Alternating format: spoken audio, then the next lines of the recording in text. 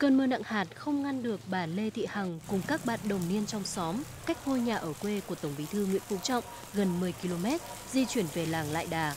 Ngôi làng cổ hàng trăm năm tuổi đông hơn mọi ngày, nhưng tất cả diễn ra trong bầu không khí trầm lắng. Trời rất là mưa nhưng mà uh, mấy chị em uh, chúng tôi là ở uh, tổ 26 thị trấn Đông Anh thì cũng muốn là đến tận uh, cùng là quê hương của bác thì đúng muốn đến tận nơi uh, tận uh, làng uh, của bác để uh, muốn uh, đến vào nhà văn hóa để thắp ừ, cho bác nén hương để tưởng nhớ đến bác. Ờ, một người lãnh tụ vĩ đại một ờ, một một ờ, bác tổng bí thư mà không những Việt Nam mình mà cả thế giới đều rất là trân trọng những cái thành tựu của bác để lại cho nhân dân Việt Nam. Tuy bác đi xa rồi nhưng mà trong lòng người mỗi một người dân Việt Nam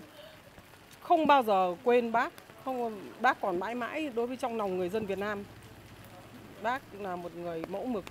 để cho lại trong lòng người dân Việt Nam rất nhiều những sâu sắc, ấn tượng mà không thể tả hết được, chỉ biết đau xót là người tuôn nước mắt, trời tuôn mưa. Vì trời mưa gió như này, chị em đã không quán đường xá xa xôi và mưa gió. Thế là nên nên là rất là nhiệt tình và cũng mong muốn là được vào để tận nơi để xin được thắp nén hương nhang.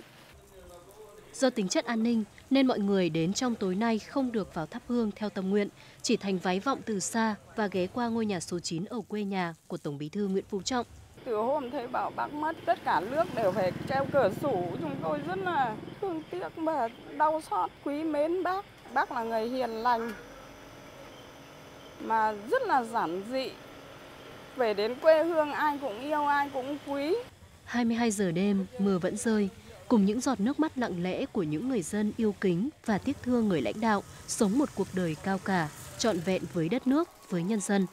Ngày 25 tháng 7, ngày đầu quốc tang, lễ viếng Tổng Bí thư Nguyễn Phú Trọng sẽ diễn ra đồng thời tại nhà tang lễ quốc gia số 5 Trần Thánh Tông, quê nhà Tổng Bí thư ở xã Đông Hội, huyện Đông Anh, thành phố Hà Nội và hội trường thống nhất ở thành phố Hồ Chí Minh.